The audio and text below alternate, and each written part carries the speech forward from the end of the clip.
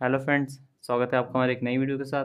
तो मैं आज आपको सिखाऊँगा how to set data limit at hotspot आप अपने हॉटस्पॉट में डाटा लिमिट कैसे सेट कर सकते हैं? तो इस वीडियो में देख के आप वही सीख सकते हैं। अगर आप, ये वीडियो आपको पसंद आए तो वीडियो को लाइक ज़रूर कीजिएगा, चैनल पर नया तो चैनल को सब्सक्राइब ज़रूर कीजिएगा। तो स्टार्ट करते हैं आज की वीडियो। तो जैसे कि आप देख सकते हैं, मेरे पास रियल का फ़ोन जिसमें मैं आपको सेटिंग्स करके दिखाऊँगा। पहले मैं जाऊँगा फ़ोन की सेटिंग्स में।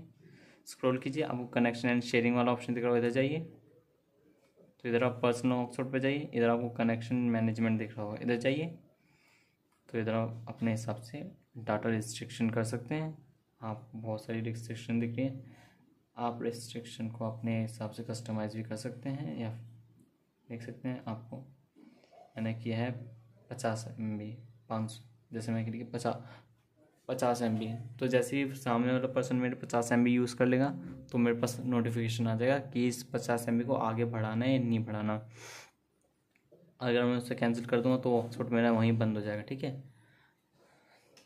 तो हमारी डाटा लिमिट हो चुका है सेट तो फ्रेंड्स अगर आपको, अगर ये वीडियो आपको पसंद आए तो वीडियो को लाइक ज़रूर कीजिएगा। चैनल पर नया तो चैनल को सब्सक्राइब ज़रूर कीजिएगा।